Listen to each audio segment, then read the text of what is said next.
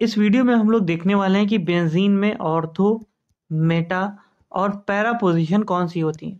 तो पहले समझ लेते हैं कि मीनिंग क्या है। ये हमारे वर्ड हैं ग्रीक। ये ग्रीक भाषा के वर्ड हैं, ग्रीक लैंग्वेज के वर्ड हैं। ऑर्थो का मतलब हम देखें तो इसका मतलब होता है स्ट्रेट, राइट, या फिर करेक्ट। ये आप गूगल करेंगे, आपको आसानी से मिल जाएगा।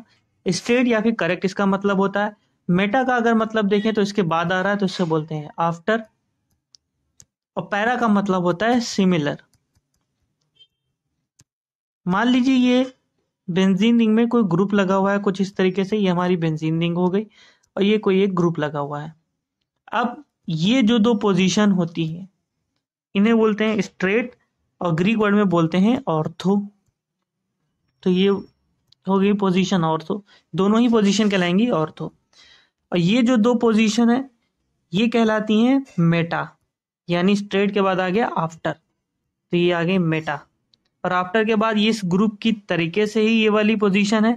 तो इस पोजीशन को हम लोग कहते हैं इंग्लिश में कहेंगे सिमिलर और ग्रीक वर्ल्ड में इसे कहा जाता है पैरा राइट? तो ऑर्थो, मेटा, पैरा, ये पोजीशन कहलाती हैं सिंपल सी। ग्रुप की पड़ोस वाली दो पोजीशन ऑर्थो कहलाएँगी। बीच वाली दो पोजीशन मेटा कहलाएँगी। और ये वाली पोजीशन कहलाएगी पैरा।